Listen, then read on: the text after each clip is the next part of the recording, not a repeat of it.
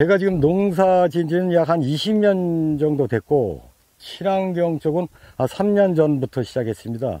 그 양배추 익히면은 보시다시피 한 1,500평 정도 되고, 지금 보시다시피 빠진 구석이 없습니다. 그 지금 뭐, 지금 한창 통이 들고 있는 시기인데, 지금 보다시피 아주 깨끗하고, 지금 관행으로 양배추 심은 것보다 약 한 보름 정도, 에, 늦게 심은 겁니다. 그리고 저는 적정량을 그, 기비로만 사용을 했습니다.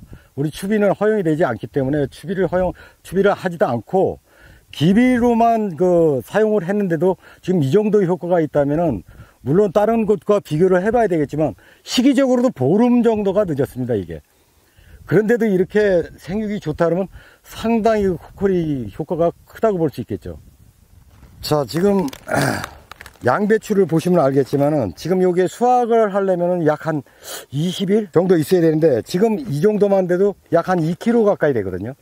그래서 이게 믿으시겠냐고. 지금 이 친환경으로 단 한 번의 기비로 이 정도까지 키웠습니다. 사실 그 친환경은 일반 그, 그 관행 비료를 많이 사용을 못 합니다. 약 한 3분의 1 정도 사용을 해야 되는데, 그래서 지금 과감하게 코코리를 도전했는데, 코코리 효과가 글쎄 아주 상당히 좋은 것 같아요. 지금 보시다시피 내가 뭐 다른 뭐 일반 저거 비료를 쓴 것도 아닌데도 지금 타 지역에 있는 것보다는 상당히 작황도 좋고 꼭 드리고 싶은 말씀은 뒷심 힘이 좋다. 다른 건 뭐 설명해야 소용이 없고 저희 그 밭을 보시면 알겠지만은 뒷심이 엄청 좋습니다.